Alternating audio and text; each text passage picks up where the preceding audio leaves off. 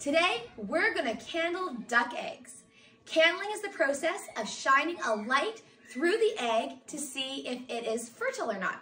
You need to do this so that you don't have an infertile egg staying in the incubator for the entire period of time because that can cause the egg to explode and make a huge stinky mess. Over here, we have the little giant incubator with the egg turner. This is day seven, and we have 41 duck eggs in here. So we're gonna see which duck eggs are fertile and which are not fertile.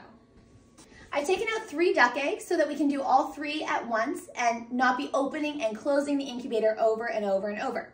In order to candle the duck eggs, all you need is any sort of flashlight that can provide more of a direct light and then a dark room. So come with me, we're gonna go to a dark room and we're gonna see which one of these are fertile.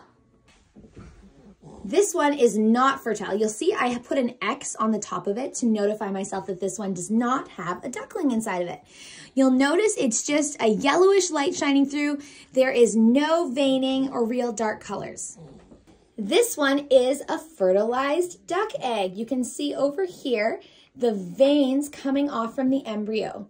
It's also a darker, more orangey color when you shine the light through. Here is another example of a duck egg that is fertilized. You can see the veining really nicely in this example. That's how you candle duck eggs to find out if there is a little duckling embryo growing inside.